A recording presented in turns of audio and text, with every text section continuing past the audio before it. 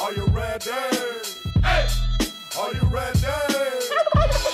Are you ready for the competition? turkeys.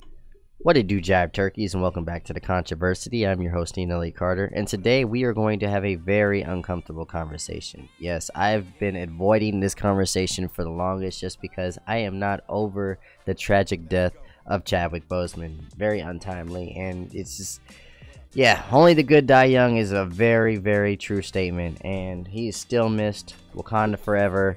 Um, but without further ado, we got to have this conversation. So recently, Executive Vice President of Marvel Productions, Victoria Alonso, was asked the cringe question of how they are going to handle Black Panther in the MCU going forward. Are they going to use that CGI Frankenstein's monster like they did with Paul Walker in the Fast and Furious franchise?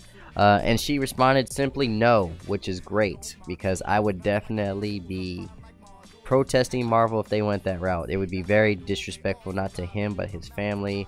And I'm just not a fan of that. She responded to say great things about her experiences with him, um, but ended it by saying, I know sometimes that in productions, two or three months can go by, and we say that too much time has passed. She continued, but that is not too much time. We have to really think about what we are going to do next and how, and decide how we are going to honor the franchise. And I respect that comment because it's pretty much saying that she's got to be really creative of how she's going to handle what's going to happen in the future.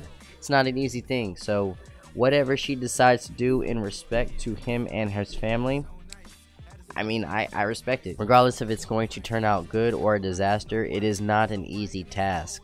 So you gotta you gotta pay respects and, and just sit back and let them do their thing when it comes to this subject. Um, but I do have some suggestions of how they can handle it. Again, this is not an easy subject.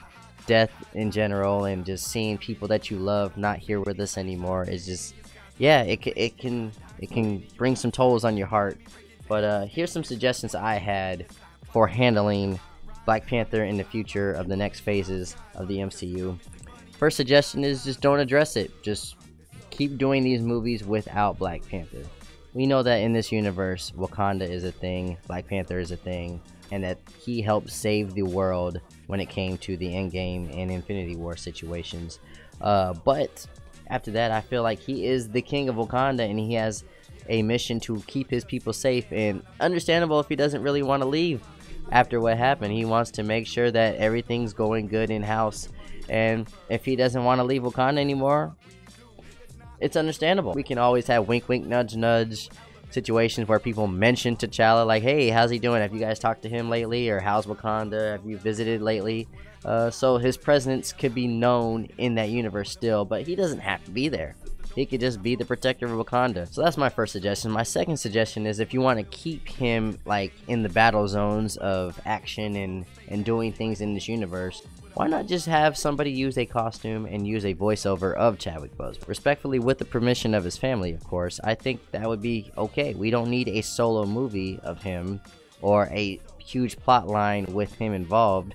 If there's a situation where there's an invasion or a life threatening situation in the world, you could just bring the costume with his voiceover and he's there. He's there fighting. We don't have to see a CGI version of him. We don't even have to see his face.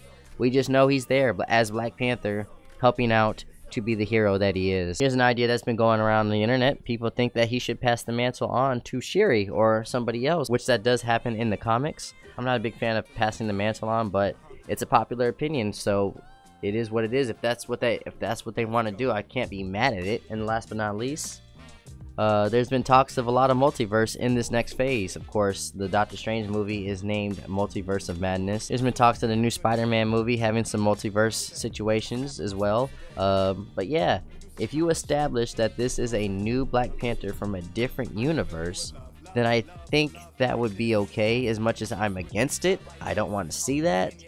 I think as a story, I think from a story perspective, it would make more sense to do it that way, I guess because we do have multi versions of Spider-Man and if they are going to do the Spider-Man multiverse have these guys together then you have established that different people can look like the same character. So that's a way you can recast it with getting away with it. Again not a fan of. I only want to see one person as Black Panther and that is Chadwick Boseman forever.